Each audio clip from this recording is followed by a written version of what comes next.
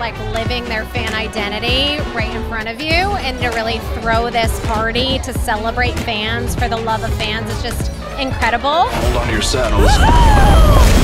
I feel like being able to bond over shared experiences has a lot of special magic sauce that brings all of us together. There's something here for everybody. Without fans, there's no reason to create anymore. Fans to me are just people who love something so much that they can't stop talking about it. I'm nobody. I ain't even seen nothing. I'm not even seeing anything right now. Fans means joy. They mean happiness. People that are just experiencing something that they love. Can you talk about which fandoms you identify as part of? Oh, absolutely. Marvel, for one. Cyclops from X-Men. I am so happy that Paramount Plus picked up the Halo show. I love Star Trek, I love Marvel, I love Star Wars and Doctor Who. I'm pretty much a multi-fandom person. I'm a big fan of Ice cream. Any video game, I'm huge, huge fandom.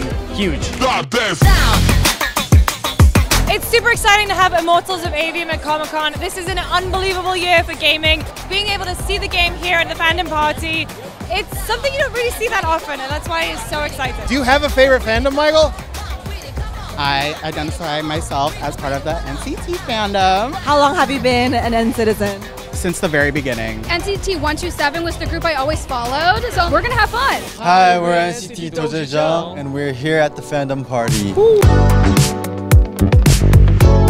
저희가 샌디에고도 처음이기도 하고 또 이런 장소에서 케이팝을 보여드릴 수 있다는 게 굉장히 뭔가 자랑스럽기도 하고 설레는 것 같습니다.